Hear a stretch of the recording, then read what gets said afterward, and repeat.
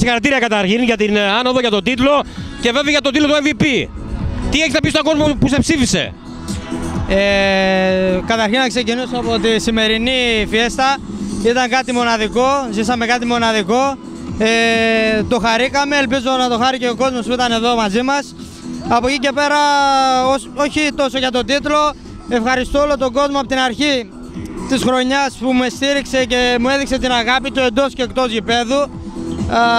Θέλω να δώσω ε, ένα μεγάλο ευχαριστώ στους συμπαίκτες μου γιατί χωρίς αυτούς και τον προπονητή μου δεν θα μπορούσα να καταφέρω αυτά τα πράγματα όλα ε, και γενικότερα στην Παναχαϊκή που με βοήθησε φέτος να κάνω την πιο παραγωγική μου χρονιά και, και να νιώσω καλά εγώ και γενικότερα όλη η ομάδα. Υπάρχει ένα από τα 14 γκολ που ξεχωρίζεις; Ε, θεωρώ πως το δικό του είχε, καθένα είχε τη δικιά του αξία.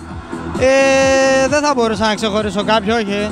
Για μένα όλα ήταν, ήταν καθοριστικά. Τρέξτε να πανηγυρίσει, τρέξτε, τρέξτε, τρέξτε.